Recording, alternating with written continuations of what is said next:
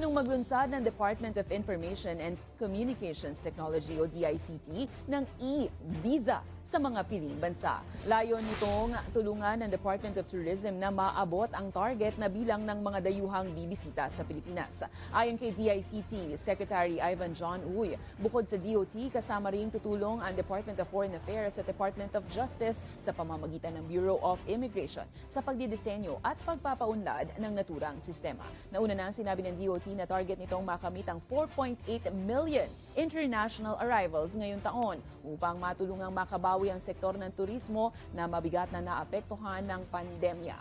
Ayon kay Uy, para sa pilot launching, China at India lamang muna ang isasamang mga bansa.